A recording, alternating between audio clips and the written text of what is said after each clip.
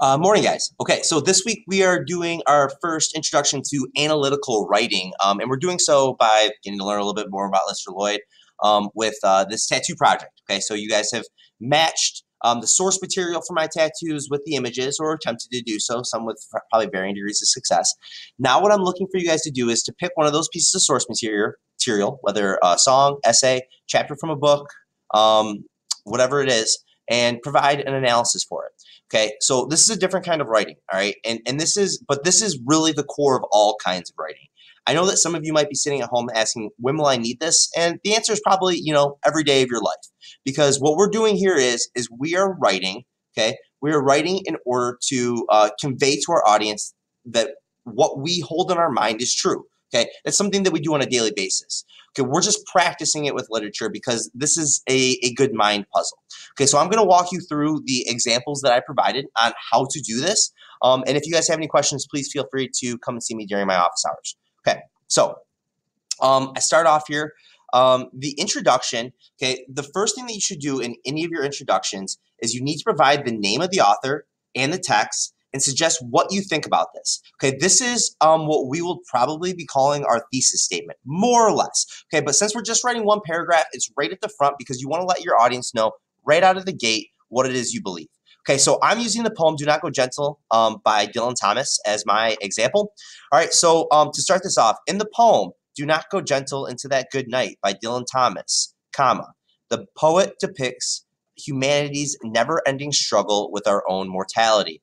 Okay, so right off the get go here, okay, and feel free to just copy and paste this right into the start of your own essay and plug in your poem, song, essay, and your author, whatever they be, whether it's Kurt Vonnegut, Albert Camus, uh, Langston Hughes, um, uh, Bob Dylan, um, who actually took his stage name Dylan from this author, Dylan Thomas. Feel free, free to plug it right into there. Okay, this comma is necessary. We're going to talk more about grammar on Thursday. Ooh, grammar Thursday and Monday, uh, respectively. Okay, all right. And then this is what I think this poem's about. Okay, you don't need to go into a great deal of detail. Just give me a really short okay snippet. What is what is this um what is this author trying to convey? All right. And for this, I the humanity's never ending struggle with their mortality. Okay. For the second sentence, all right, and feel free if you feel like you've got writing down, you're a pro writer go for it.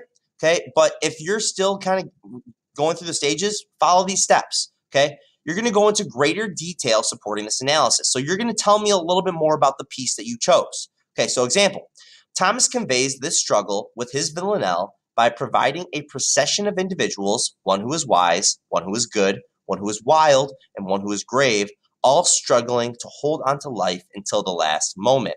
All right. So I didn't really tell you anything. I'm just I'm just giving you a little bit more information about this poem in case you've never written it, read, uh, read it, which many of you probably haven't. That ultimately goes to support this idea. Okay, so this is kind of like the context. What do I need to know about this piece of writing in order to understand the interpretation that you came up with? Third, okay, you are going to provide a quote. Okay, and this goes to every kind of writing, speaking, anytime you're using language, you need to use evidence to support your interpretations. Okay, so I'm going to expect that you pick a quote that supports the idea of your interpretation in this first stanza. So if we go back to it, and there's different ways of introducing this. In the final stanza, comma, Thomas turns to his own father. Um, I use a colon, um, quote, and you, my father, there on that sad height. Ooh, I, I put a, I, I doubled that up. Mr. Loyd did a boo boo. And you, my father, there on that sad height, curse, bless me now with your fierce tears, I pray. Do not go gentle into that good night. Rage, rage against the dying of the light. All right. So again, this is, I just found the quote that I think ultimately supports the idea that I put in this first sentence the best. Okay. So you're looking for a piece of evidence that supports why you think that this poem, song, essay, um, speech means what it means. All right. Um, just a small note here, guys. Um, the the the uh, the slashes um, are intended to put there. That's for stanza breaks. So if you're writing using a poem, that's how you show that it's a different stanza without just doing a new line every time. All right. Sentence four. provide analysis to the quote explaining why it supports your original interpretation. Okay, so now you're you're just putting the quote in your third sentence. Now you're telling me what does that quote mean? What does that quote mean? All right, and how does it again? Everything comes back to this, and this is why this is our thesis. Why does it support this interpretation? Okay, so if we look at the um, my own analysis, I put in this final quote, the audience sees Thomas struggling with his own mortality ultimately by facing the mortality of his father. All right.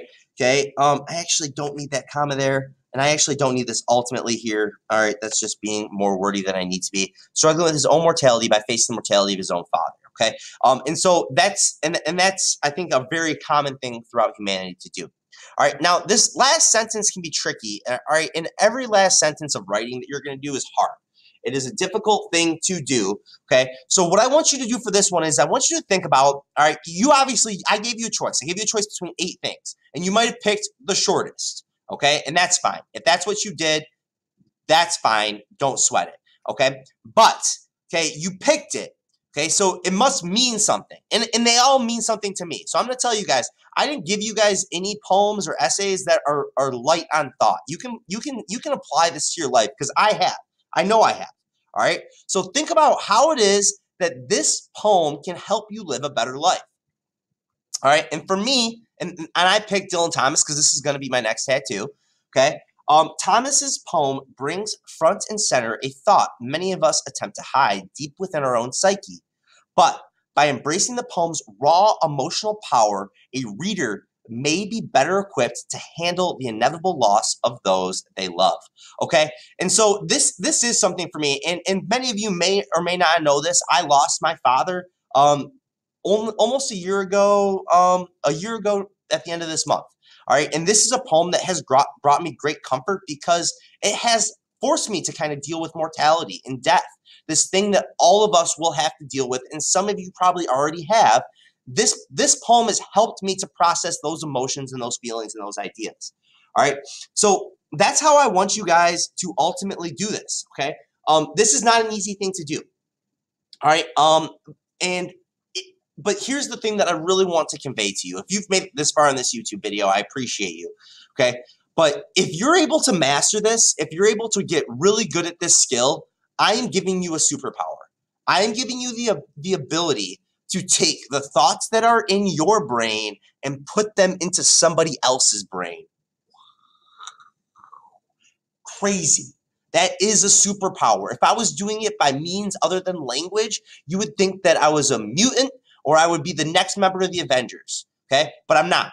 All right? Okay? This is something that you can all do if you practice and work at. All right? I like all you guys a lot. I can't wait to see you in class today. Catch you on the flip side.